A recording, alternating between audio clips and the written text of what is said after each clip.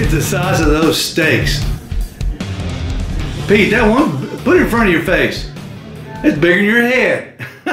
Four pounds. Four pounds. The video, I'm, gonna, I'm going to uh, just hold that. I'm gonna, I'm gonna drill a hole in there.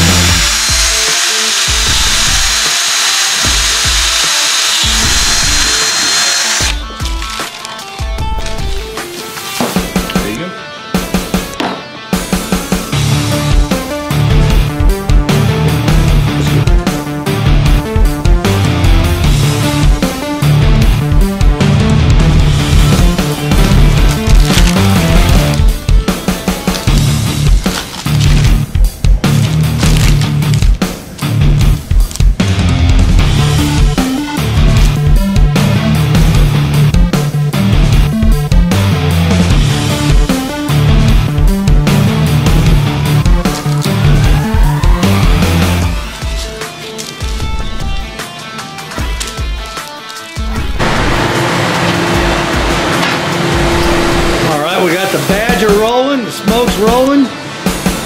Pete, if you would. Here you go. Use the little handy tool here. Just hook that on there. On here? Yep. And just hang it right there. If you can get it down there in the middle. Yeah. Yeah, hang that right like so. Perfect. There you go.